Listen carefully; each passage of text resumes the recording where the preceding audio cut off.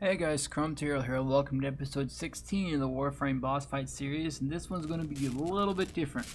Uh, let's hop into it. Alright, so for episodes, this episode, there are two different ways we can go, right? Alright, so one is from Pluto, which is where we were at last time. We can go to either Sedna or Eris. I'm going to go to Eris because he is one of the most, well, one of the most difficult for me or toughest boss fight to do as a solo. That's Mutalist Alad V right here. To get to Mutalist Alad V, you have to have Mutalist Alad V coordinates, which you're going to get from uh, invasions. So this infested outbreak right here, it says Mutalist Alad V coordinate. That's what you get if you're able to do this invasion three times. So like we would go to Hades here, and it would be bump off Farid three times and it would give us Mutalist Alad V coordinates. So that's what you want to do. Then you want to come on over here, once you get one of those, to your foundry.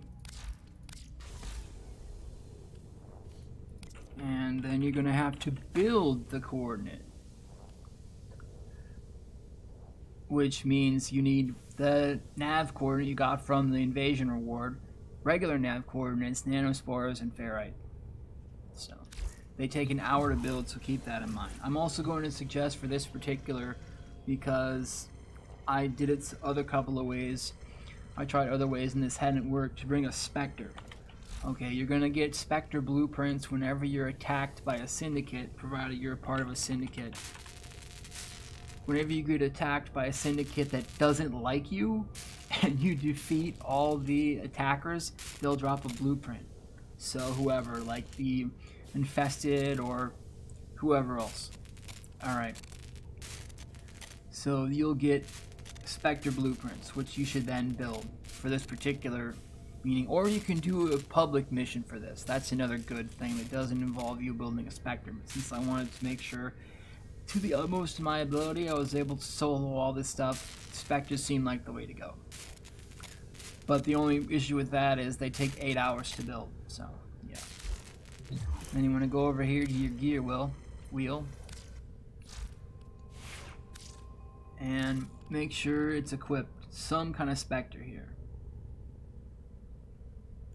Because you're going to have Mutalist Alad V focus on that Spectre to try to mind control that Spectre, which is what he does rather than you yourself, because in a solo, he can only target you.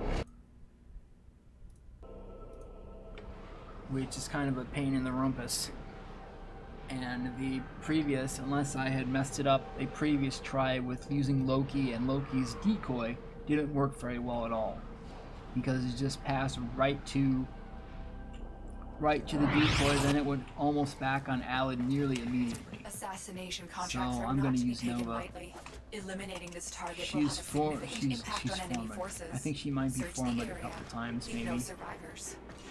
Uh, she's done sick. up so that um, infestation has infiltrated his mind. she'll slow the enemy rather than speed bidding. him up, so We're she has to stop him. super big positive power strength. showing him mercy. Really strong for of freeing him from the 75% speed reduction. And Lotus is talking about There how go V is sick, how that collar makes him kind of credit. messed up. Must I always show you the way And he wants to kind of spread the infestation so that everybody is, you know, like him. It's so much Do better you see this color? struggling This color and whatnot. let you see like I see. Apparently. It will let you want what I want. See how he's struggling and in pain. Tenno, why must you always work against Alright, so In here is to bring us Alan. together. Things could have Alright, so what we want to do, If you try to, we want to go to our thing and immediately deploy the Spectre, you have one which he will then mind control. Whoop, I did that wrong. Messed up. Now he's slowed. of this gift. Multiple targets ahead. Target If he spotted. mind controls him again- This one is a candidate.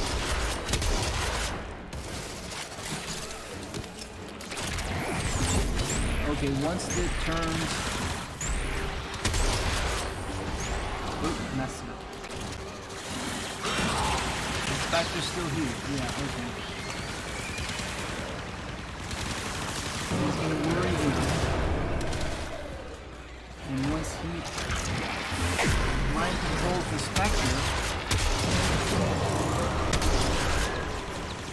Put it back on.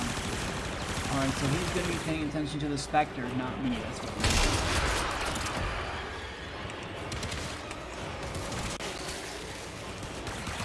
And then he'll try to mind control the Spectre with his little collar thing. Once he does that,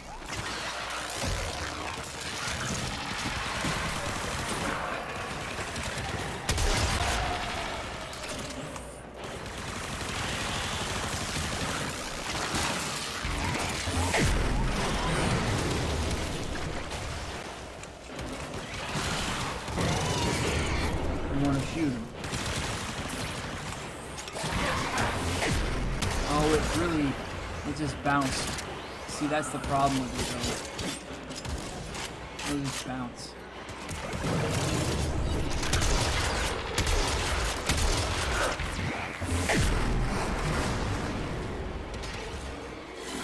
Must lasted longer than I did.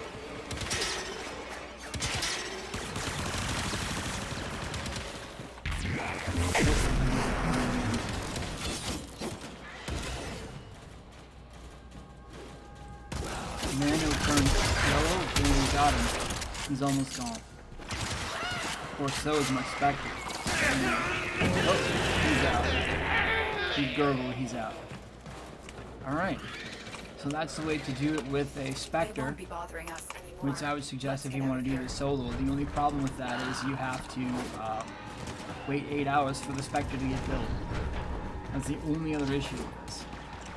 I should be using Wormhole, but to be honest, I'm a- mediocre Nova player at this point. So.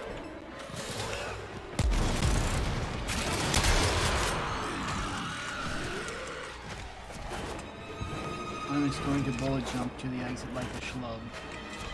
And yeah, so after all that stuff, I'm gonna hop to the exit. Uh, be careful to keep running. We're technically in atmosphere right now and that's why the shield is going down. So we're basically, be frank, dying. So, and then we go over here, and that's it. Target So, you get the-. The needless Halavi take him out. You get the system, the uh, parts for Mesa. So the Mesa systems, chassis, and her optics. You can buy her blueprint from the market, and when you're done crafting the other parts, you can get yourself Mesa.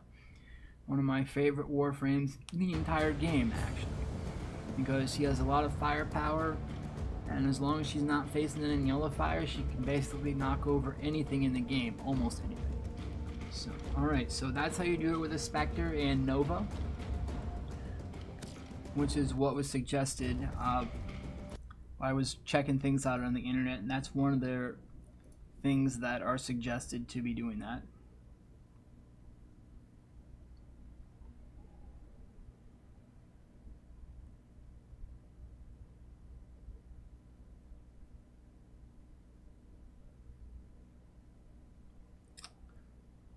So other than that, appreciate you guys hanging out. Be sure to like and subscribe if you enjoyed the content or if you're new around here.